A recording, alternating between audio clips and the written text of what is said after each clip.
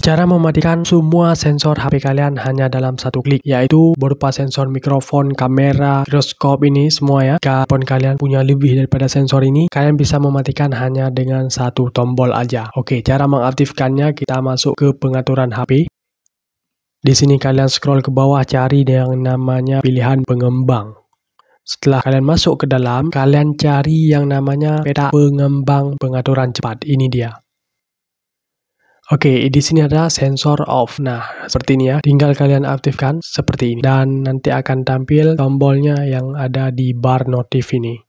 Oke, ini dia tombolnya. Kalau kita aktifkan ini, maka mic akan putus ya. Ini saya kasih contoh.